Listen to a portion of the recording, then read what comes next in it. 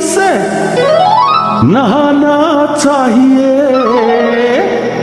नहाना आए या न आए, नहाना चाहिए।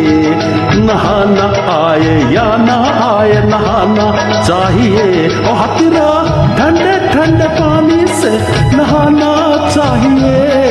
नहाना आए या ना आए, नहाना चाहिए।